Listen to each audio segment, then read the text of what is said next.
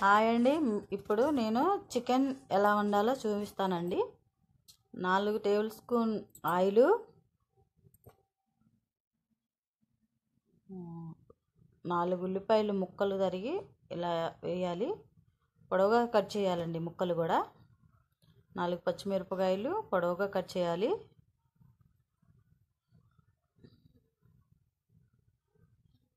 దీంట్లో ఇప్పుడు సాల్ట్ వేసుకుంటే బాగా ఎగుతుందండి కానీ నేను సాల్ట్ వేయలేదు కొత్తిమీర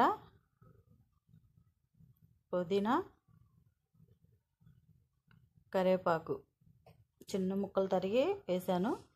ఇప్పుడు ఇది గోల్డెన్ కలర్ వచ్చేదాకా వేయించాలి. చూసారా? ఎలా ఎగిపోయిందో గోల్డెన్ కలర్ వచ్చేదాకా వేయించాలని చెప్పాను కదా. ఇప్పుడు ఒక ఒక కేజీ చికెన్ శుభ్రంగా వాష్ చేసి వేస్తున్నానండి.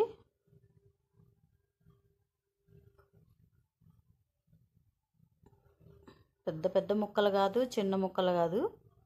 మీడియం సైజు ముక్కలు కట్ చేపించాను పసుపు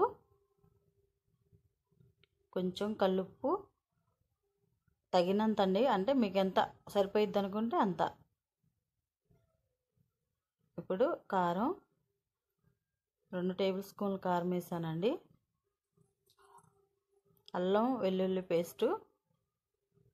అంటే మసాలా కొంచెం నీస్ అంటే కొంచెం ఎక్కువగా ఉండాలి కదా అందుకని కొంచెం ఎక్కువగా తీసుకున్నాను. అల్లం చిన్నులపై మాత్రమే. ఇప్పుడు మొత్తం కలిపేలాగా ముక్కకు పట్టేలా కలుపుకుందాం. ఒక నిమిషం మూత పెట్టి ఉడికిద్దాం. చూసారు ఎలా కుక్ అయిందో? ఒక గ్లాస్ వాటర్ పోసాను. మళ్ళీ మూత పెడతాం. చూసారా? ఉడికిందో లేదో చూద్దాం. ఎలా ఉందో చూసారా కలర్ఫుల్గా?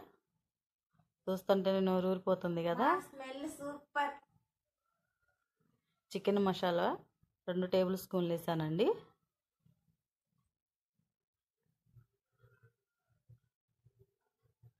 బాగా కల తిప్పుకుందాం. ఇప్పుడు ఒక ముక్క తీసి చూస్తున్నాను.